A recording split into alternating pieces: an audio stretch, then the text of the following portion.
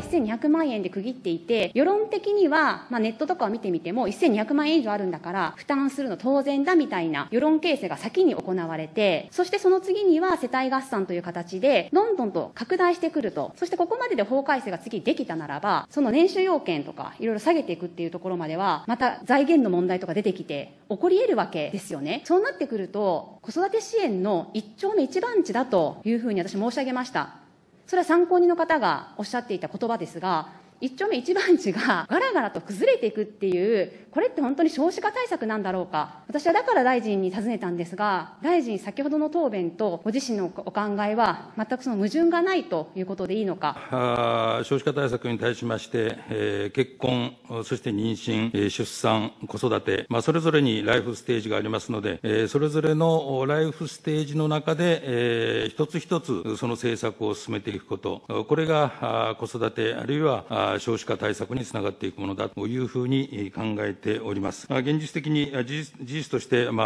あ、あの幼児教育、保育の無償化、あるいは不妊治療への助成拡大、えー、さらには子育て安心プランによる、まあ、待機児童の解消、もうこういったものをそれぞれのライフステージによって、総合的に、まあ、行ってまいりました。そして、最終的には、これまで待機児童問題、最も取りり組んできた問題でありますけれども、所要額を確保して4年間で14万人の保育の受け皿を整備することといたしたところでございます。ですから全体的に進めてきているこの対策の中での非常にバランスを取りながらの対策で、政策であるということでご理解をいただきたい。子育て支援の一丁目一番地なわけです。ですからやっぱりここの面をですね、あの、親の所得とか年収で支援を切っていくというのは基本的に良くないというふうに私私は考えています。まあ、大臣は、まあ、ご答弁の中でですね、子育て支援の充実を図っていくことで、子育て世帯が希望を持つことができるよう、できる社会となるよう、メッセージを発信していくというふうに答弁をしていらっしゃるんですが、やっぱり、そうしたメッセージにはなり得ていないというのが、今回の法改正に限って言えばなっているというふうに私は思っています。で年収1200万円以上の人はこれ、子育て支援が今後なくなっていくところにあるんですよっていうふうに取れなくないですよね。その先ほどの大臣の答弁、1200万で切った理由は、他のところはここでいろんなサービス切ってるからっていうご答弁でしたよね。だからここも、この法案もここでサービス切るんだと。これってすごいメッセージを発してるというふうに私は思うんですよ。だから今後も縮小されるというふうな1200万円ぐらいの所得に届けばですね、こういうメッセージを発してしまっていると。で、末富参考人なんかはですね、ストレートにおっしゃってましたよね。この高所得というか、この層が海外流出にもつながることになり得ると。私の知り合いも実施、実際にはシンガポールとかオーストラリアとかにも行っちゃってしまっておりますし、まあ、こうした声は真摯に受け止めていただきたいなというふうにいただあの思っているところです。他にあの大臣にご答弁きちんといただいていないものがあるんですが、それは4月9日の衆議院の質疑で、今回の児童手当の一部廃止を設けたことによって、まあ、出生に抑制がかかるのではないかということを、えーと、後藤委員でしたかね、はい、民間の調査結果をもとに問われたところですね、大臣はそれについては限定的ではないかというふうにご答弁されているわけなんです。まあ、限定的であったとしても、まあ、国難である少子化の今、出生数を上げようという改正であるはずなのに、逆に出生に抑制がかかる政策を進めていく意義というものが、いまいち私はまだ分かりません。全体的なバランスを見たということは何回もいただいてはいるんですが、まだちょっとその意義を質問させていただいているんですが、答えていただいていないんですよね。で、ご答弁ではなぜか、あの、国難である、まあ、今回私が聞いたことではなくて、児童手当見直しの意義についてのご答弁にすり替わっていたんですね。えー、あの、繰り返しになりますけども、私たちは、あ結婚、出産、結婚、妊娠、出産、そして子育て、まあ、こういった、あの、全体のライフステージの中での政策作りやっぱりその今、1200万円のところでだいぶ切られてしまっていて、いろんな支援があの受けられなくなってる人たちっていうのは、ピンポイントでやっぱり出てきてしまっているわけですよねと、でこの件について本会議で伺わせていただいたところ、あのどのような支援を伺うのあするのかということを聞いたところ、プラチナクルあプクルミンとプラチナクルミンがあるということを大臣はご答弁で挙げられました。これは企業に50万円の助成金を払うという制度で、本人たちに直接入るわけでもありませんし、この制度自体私すごく大賛成で応援してるんですが、あのその人たちがその企業に勤めているとも限らないわけです。まあ、ですので、まあ、ちょっと苦しい答弁だったかなというふうには思っているところなんですが、まあ、先ほど申しましたが、まあ、支援制度自体が あの結構その年収のところで区切られてしまっていて、特例給付を今回外したということで、やっぱり私はひどいなというふうに思っているんですよね。でそうした声もたくさん届いているところです。で今今回の法案なんですが、あの子育て支援の拡充になっているということで、大臣は考えているのかと、サービスは、まあ、たくさんあるけれども、使えないサービスもたくさん外されているところだと思うんですが全体的なバランスを取りながら、あその政策を進め、えー、今回、この法案の提出になっているというふうに思っております。以上の方たちっていうものは、いろんなサービスとかを切られてしまっているような状況で、この今回の改正を見てみれば、やっぱりその方たちにとっては、子育て支援の充実になっているかと言われれば、そうではないというふうに私は思っているので、その認識を持っていただかないと、次にまた何か改正があったりとか、子育て支援のあの法案が出てきたとか、またそこからあなた落ちてしまう可能性があるんですよね。だから全体的にっておっしゃるのであれば、これまで EBPM で1200万円ぐらいから全部外すっていう判断をされてきたということなんですが、全体のバランスを見ながら毎回ここからの層を外していくっていうことは、逆に全体のバランスがやっぱり見えていないんじゃないかなと。まあ、少子化というのは国難ということですから、お子さんを育てている皆さんが、本当にあの、子供を産んで育てやすい国にしていかなくてはいけないというふうに考えると、ちょっと今回の改正については、私はやっぱり賛成ができないなというふうに思っているところです。まあ、子育て支援がまあ充実していると言われているようなまあ国の児童手当は、ま、日本のように所得制限は設けていないんですよねと。で所得制限のない普遍的な制度になっているわけです。まあ、子供の年齢や数によって支給額とか変わっていくんですが、親の所得で支援が切られるということはないわけなんですよねと。まあ、これまで日本も特例給付を通して、なんとか制度創設以降、すべての子どもを対象としてきたはずなんです。普遍主義に近かった形から、まあ、完全に今回、選別主義に移行することになってしまうということになるんですが、これはあのこの先、児童手当の対象にならない子どもが増加する道を開いたというふうに指摘をされている方もいらっしゃって、私もそうだというふうに思っています。大臣は今回の子ども手当で選別主義に切り替わっていくことについて、どのようにお考えか教えてください。坂本内閣府特命担当大臣。あの、えー、幼児教育、保育の無償化や、それからあの不妊治療の女性の拡充、あるいは所得の高にかかわらず、支援が必要な方に対して、その必要な支援を重点的に、まあ、提供するという、まあ、こういった、まあ、制度上の支援、えー、いわゆる現物給付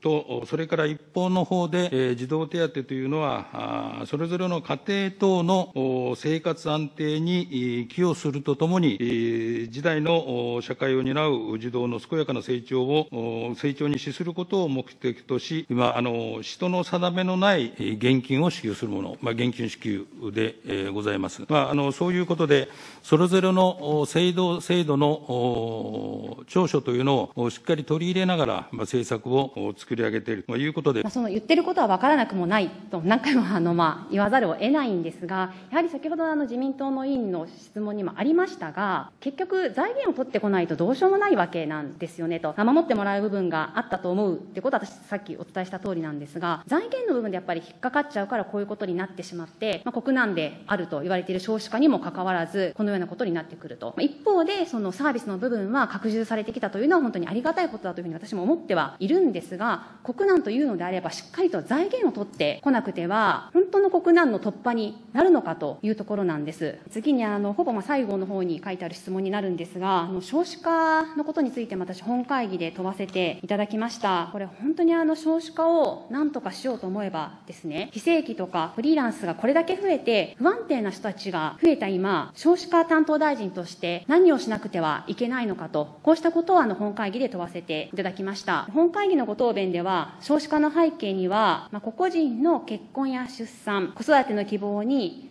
実現を阻むさまざまな要因が絡み合っていますと、子どもの数に関する希望については、子育てや教育にお金がかかりすぎる、これ以上、育児の負担に耐えきれない、仕事に差し支えるといった理由で、希望が叶わない状況があると認識をしていますというふうに、大臣はご答弁をされています。まず、お金がかかりすぎるというご答弁なんですが、ま、出生率と性の相関関係がある、家族関係支出が、日本は低いということ、ま、国が子育ての予算をやっぱり取り切れていないというところにあると思うんですよね。資料の6をご覧ください。これ、一目瞭然ですよね、もうびっくりっていうか、見慣れたものかもしれませんが、日本は子どもの教育に法財政がやっぱり投入されていないわけなんです。OECD で最低レベルです。もう本当にあの、右から2番目ですね、日本。この状況です。で、子育てで一番お金がかかるのはやっぱり教育費なわけなんですよねと。親の金銭的負担を取り除く努力をやっぱり政治がするべきですし、予算を取りきれないということは公教育の質の低下を意味していくと。まあ、日本はちょっと私立が多いというところが他の国とは違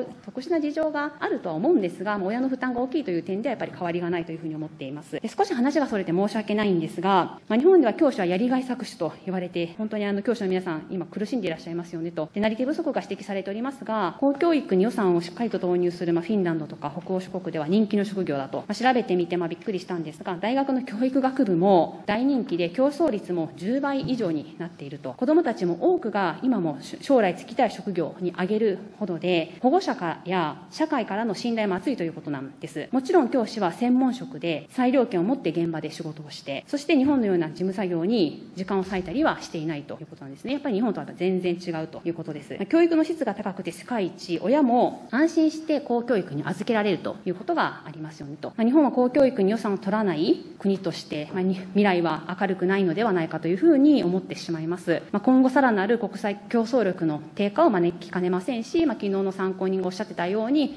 子どもの教育も考えてもですね、世界に人材が流出していくのではないかと、まあ、そこは私も重く心の中に残っているところです。で話を大臣のご答弁に戻しまして、これ以上を育児の負担に耐えられないというのは、子育てが女性に重くのしかかっているからですよねと。で仕事に差し支えるというのも、日本が子育てに冷たい国であることの証左で、まあ、北欧のようにパパクオーダーになっていないということですよねと。日本はまあパパママ育休プラスがありますが、結局男女差の賃金格差があるため、結局パパが利用しようと思えない制度になっているとも指摘がされております。まあ、こうした話ではよく北欧が引き合いに出されますが、まあ、実は北欧は少子化対策として国が政策を積極的に推進したわけではなくて、子供を持って働く男女の家庭と仕事の両立を支援するために行われた包括的政策努力の副産物であったということが指摘されているのは、まあ、大変興味深いため、共有をしておきたいというふうに思っています。で話はそれたんですが、まあ、北欧に学ぶ少子化対策という駿河台大学准教授の前田悦子氏の研究によれば、日本において未婚化、晩産化に大きく影響しているのは、男性の非正規雇用者が増加したことによる低所得者層の増加であるというふうに記されています。だから私はこれだけ不安定雇用の非正規の人が増えた今、大臣は少子化担当大臣として何をしなくてはいけないのか、特にフリーランスに対して何をしなくてはいけないのかということを質問させていただきました。大臣の言葉でお考えをいただけたらと思います。坂本内閣府特命担当大臣。えー、幅広いご質問をいただきました。あのー、まあ、それぞれの国によりまして、国民の負担割合が違いますので、一概に、まあ、外国と同じレベルで、比較することかどうかというふうには思いますけれども、やはり今おっしゃいましたように、えー、経済的な負担が非常に重くのしかかっているということは、それは事実であるだろうというふうに思います。まあ、若い世代の結婚をめぐる状況を見てみますと、やはりいずれ結婚する、えー、適当な相手に巡り合わない、あるいはそれそして資金が足りないというものが、まあ、上位を占めております。特に、えー、男性で、えー、正規雇用の皆さんたちに比べまして、えー、非正規雇用の方々の結婚、あるいはその子どもの数、まあ、非常に、まあ、少なくなっているのは事実でございます。えー、このため、あの少子化社会対策では、社会対策大綱では、若い世代の経済的基盤の安定に向けて、若者の就労支援、そして非正規雇用労働者の正社員への転換、待遇改善を進め、若い世代の雇用の安定を図ることとされておりますので、今後も厚生労働省と連携をしながら、この若者の希望が叶えられるような対策をしっかり作り上げてまいりたいというふうに思っております。塩村赤さん。はい、ありがとうございます。時間が来たので終わりますが、就職氷河期の支援も今やっぱりちょっととんでもないことになっておりますので、しっかり連携をしていただきたいというふうに思います。ありがとうございました。